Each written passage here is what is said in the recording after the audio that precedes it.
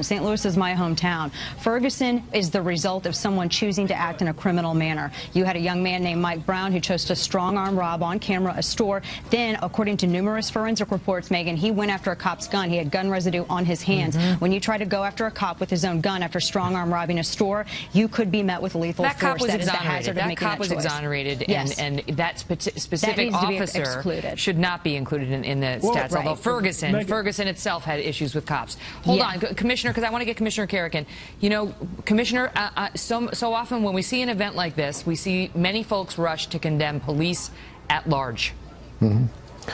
you know what, Megyn? I think you have to keep it in context. I know there's a lot of people that want a broad brush. The reality is cops make 20 million arrests a year, 20 million about throughout the United States.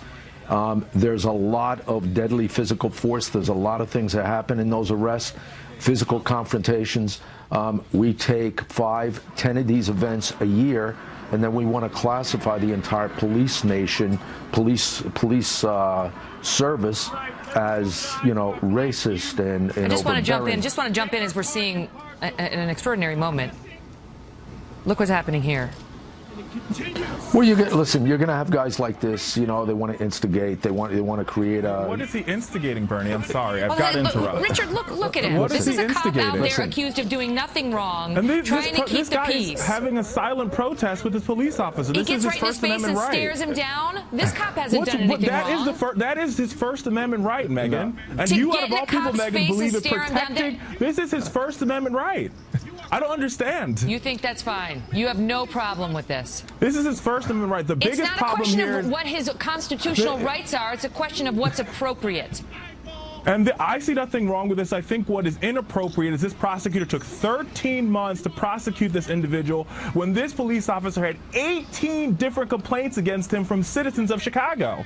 That's Correct. and no one here, as city, far as Richard. I can tell, is defending that officer. The question is what whether it speaks to this a greater is... narrative, as some allege, and, and this moment here. Let me bring in Mark and Arthur.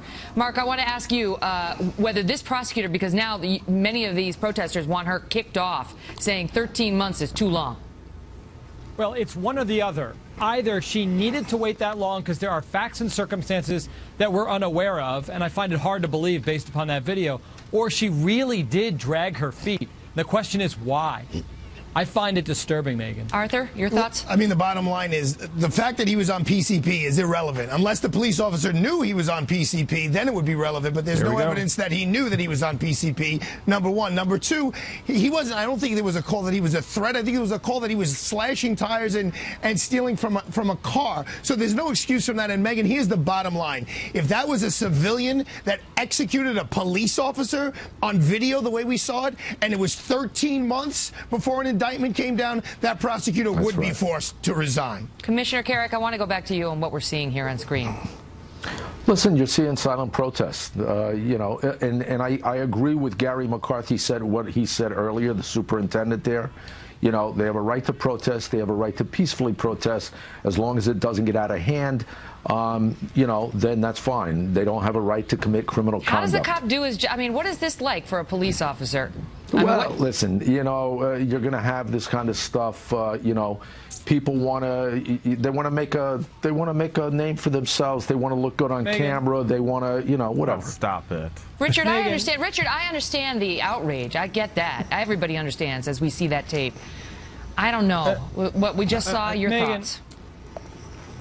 I mean, here's the thing, Megyn. This outrage, this is not the first time that the African American community is dealing with this. This is countless times, over and over again. These young people are angry because their lives are literally in question on the streets of Chicago. But the, right, but Richard, in Chicago, the, the major problem is African Americans killing other African Americans. The, the point is that their lives are in question. This police officer put 16 bullets into this young man for absolutely no reason. Absolutely okay. no reason. That that is certainly how the tape looks, but but the question is wh whether or why we don't see these kinds of protests when we see the the crime statistics that we see in the in the in inner city Chicago with black on black crime, Richard.